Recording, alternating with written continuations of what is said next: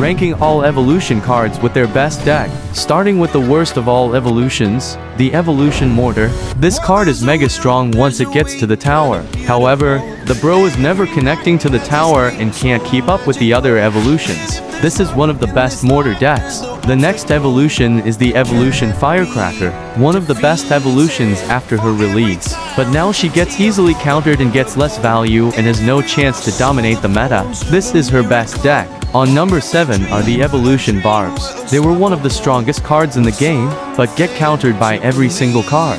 Lava Hound is one of the most common decks. Number 6 is the Bat Evolution. Especially with their last buff the card got more popular, but can still get countered by all small spells instantly. This is the best evolution Bats deck. On number 5 there is the Evolution Royal Giant. This card is starting a comeback and very balanced. Especially, the knockback combined with a Rage is broken and can save you many games. That's his most popular deck. The next is the Royal Recruits Evolution, the biggest no-skill card that finally got countered a big cause of many bowlers and little princes in the meta. This card is way too strong and deserves a nerf.